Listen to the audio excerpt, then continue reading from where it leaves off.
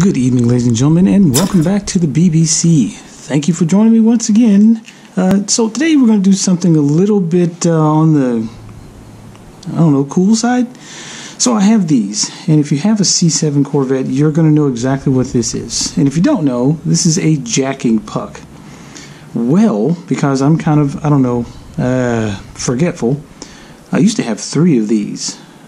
Oh, excuse me, I used to have four, but I've lost three on the highway. So I'm sorry for anyone who has hit these or has gotten hit by these, as I've lost them on the highway because I forgot that they were underneath my car after doing whatever to my car.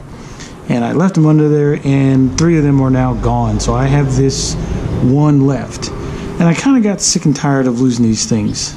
So I decided to do something a little different. So I saw these.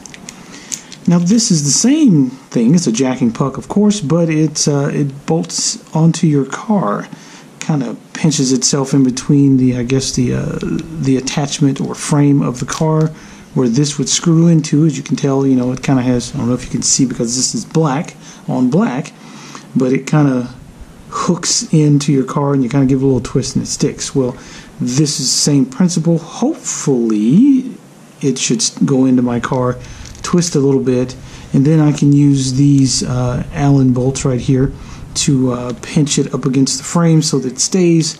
And uh, I'll probably put some Loctite on these to make sure that it doesn't back out and go somewhere. And I'd really hate to lose these on the highway because they seem to be some type of billet aluminum, and that would probably really hurt a lot.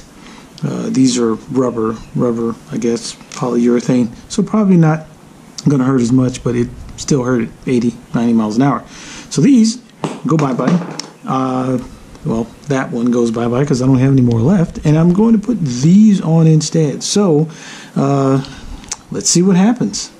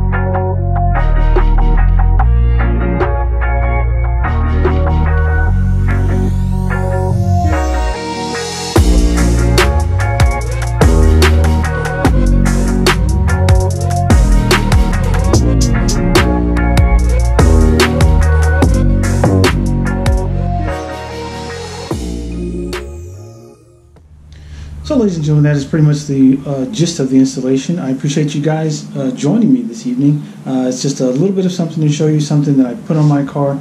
That if you're having the same problem with forgetting to take the jack pucks off of your vehicle uh, before you drive it, after you've done whatever maintenance it is that you've done, uh, these should help you because they screw in pretty good. Put some Loctite on them, that'll help as well, so that they don't back out on you on the freeway and possibly injure or kill someone, and that would not be good. So, by all means, ladies and gentlemen, uh, be safe uh, every single day. Uh, don't forget that if you are going to speed, please make sure that you keep it under 100. But if you cannot keep it under 100, remember that it is your ticket and you are going to have to pay it. So, have a great evening.